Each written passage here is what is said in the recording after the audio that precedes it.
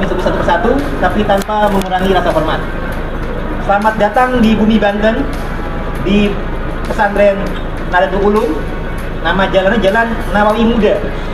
Jadi alhamdulillah eh, tokoh kita Kiai Madin Usman ini insya Allah dengan rumahnya atau pesantrennya ada di Jalan Nawawi Muda insya Allah ini melanjutkan perjuangan Syekh Nawawi Al-Bantani di masa lalu di masa kekinian di masa lalu Syekh Nawawi ini juga dengan ulama Banten lain dengan misalkan Syekh Abdul Karim Tanara dengan Syekh Asnawi Caringin itu menggelorakan perjuangan melawan penjajah Belanda.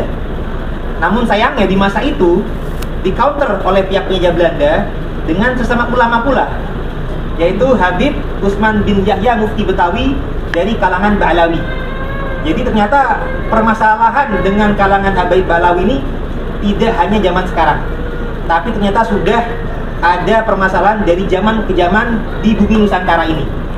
Bahkan di Banten ini pun juga pernah terjadi selain di abad 19 di abad 18 pernah terkudeta Kesultanan Banten oleh Syarifah Fatimah Ba'bud di tahun 1750 sampai dengan 1752 jadi kalangan Ba'alawi ini ternyata pernah ada permasalahan dengan kalangan pribumi dan kalangan warga Wadi Songo, warga Kesultanan Banten di abad 18, di abad 19 dan zaman now abad 21 terjadi lagi permasalahan.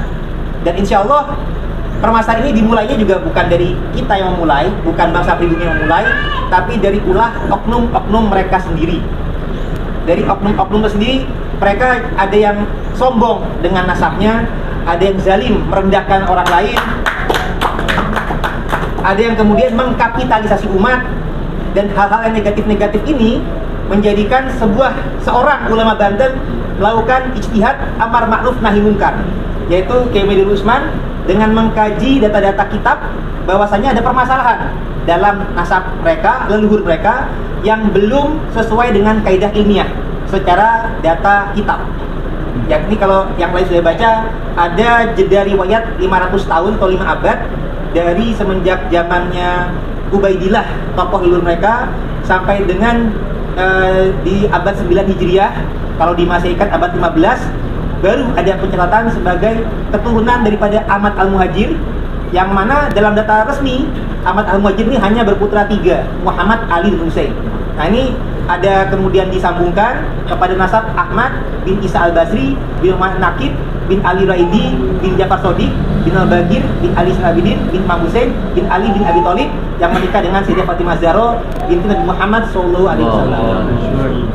Ahmad Ahmad bin Isanya betul nasabnya, tapi Ubaidillahnya ini yang masih menjadi kajian oleh Kiai Umar Usman dan alhamdulillah menjadi pencerahan bagi kita semua. Nah, namun demikian, permasalahan kitab ini saja sebenarnya hanya dari salah satu faktor. Dari faktor lain, kalangan Ba'alawi zaman pun juga ada kekurangan dari kesaksian isbat nasab dari nakib internasional. Nah, kalau mereka mengklaim sebagai turunan Rasulullah dari jalur Yaman, yang mana Ahmad Al-Muhajir ini pindahan daripada Irak, semestinya mereka juga diakui oleh nakib Irak dan juga nakib internasional lainnya. Karena sesama Zuliat Al-Bait ini ada jaringan asosiasi nakibnya yang ada dari Maroko, Libanon, Irak, Iran, Mesir dan lain-lain. Nah, semestinya kalau mereka terkonfirmasi nasabnya, harusnya juga ada kesaksian tersebut. Tapi ternyata tidak ada. Itu yang kedua. Jadi kalau keimat baru dari satu faktor masalah kitabnya, ada putus riwayat. Yang kedua, kurangnya isbat kesaksian nasab. Yang ketiga di zaman now, zaman canggih sudah ada penelitian tes YDNA. Jadi, apabila dalam data kita misalkan ulama-ulama terdahulu itu atau ulama internasional mengedepankan husnuzon. Kalau Ahmad Al Muhajir ini siapa tahu nikah siri punya anak yang belum tercatat bisa saja kan jadi kemudian seperti itu maka kemudian haruslah dites DNA untuk membandingkan genetik daripada zuriat Nabi yang lain dengan zuriat Ba'alawi Yaman. Nah, ternyata meskipun di Indonesia ini Habib-Habib belum ada yang menyatakan sudah, tapi ternyata di kalangan internasional sudah ada kalangan Ba'alawi Yaman yang melakukan tes DNA. Dan ternyata, mohon maaf sekali, data genetik mereka tidak sinkron dengan data zuriat Nabi lainnya. Karena kode haplogrupnya berbeda dan belum ditemukan juga eh, SNP mutasi genetik baik ke Hasani maupun Al Husaini.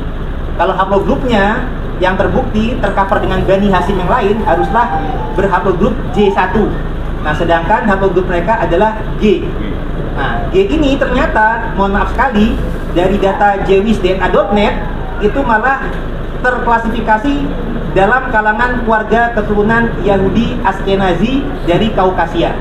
Dan ini terbukti dari jewisdna.net dan juga mohon maaf sekali dalam metadata ini adalah para Yahudi Yaman itu cukup banyak. Nah, Yahudi Yaman memiliki tradisi kebudayaan turun-menurun yang sama persis atau serupa dengan mereka. Baik dari musiknya, baik tariannya. Nah, sedangkan dalam Islam ada hadis, barang siapa yang mengikuti kaum tertentu adalah bagian dari kaumnya tersebut. Nah, jadi ini amat sangat meresahkan bagi bangsa kita apabila bangsa kita ini terjajah di masa kekinian terhadap oknum-oknum yang belum tentu sebagai suriat Nabi. Jadi ada tiga hal tadi ini yang menjadi meresahkan bagi kalangan kita sehingga ketika ada ulama-ulama yang melaksanakan amal ijtihad amar ma'ruf nahi mungkar semestinya kita dukung bersama. Kalau ada yang tidak setuju sebaiknya dengan melakukan kajian ilmiah untuk menolaknya bukan dengan cara pelaporan hukum. Jadi dengan adanya oknum-oknum tertentu yang melakukan laporan hukum kepada Kiai baik di Jogja maupun di Gorontalo kami sangat sangat sangat menyayangkan semestinya tidak seperti itu. Yang namanya kaidah ilmiah kajian ilmiah harus di counter dengan kajian ilmiah pula. Bukan dengan emosi bukan dengan cara persekusi bukan pula dengan cara uh, melapor hukum. Karena insya Allah pasalnya tidak akan masuk. Karena yang namanya kajian ilmiah Indonesia ini ada undang-undang yang melindungi pendapat uh, uh, hak warga negara ini untuk mengeluarkan pendapatnya dan melakukan pengkajiannya. Jadi apabila dari kajian tersebut ada yang kemudian melakukan hukum, itu tidak sesuai dengan undang-undang. Jadi kami juga menghimbau Bapak polisi dan penegak hukum lainnya supaya laporan hukum tersebut jangan sampai malah menjadikan negara kita atau apa hukumnya uh, apabila menerima pendapat mereka malah inkonstitusional. Karena tidak sesuai dengan undang-undang untuk yang melindungi hak warga negara untuk mengeluarkan pernyataan pendapat dan pemikirannya. Apalagi ternyata dari indikasi-indikasi yang ada bisa open source pak, bisa di jawisdna.net, bisa di Family Tree DNA, bisa juga dari uh, YouTube itu juga ada bukti-bukti budaya dan tradisi Yahudi Yaman yang ternyata malah sinergi atau selaras dengan budaya-budaya Habaib Ba'alawi Yaman yang kita pertanyakan. Karena para zuriat Nabi yang lain dari Irak, dari Mesir, dari Arab Saudi, ternyata budayanya berbeda dengan mereka. Kalau mereka menyatakan sebagai zuriat Nabi, semestinya memiliki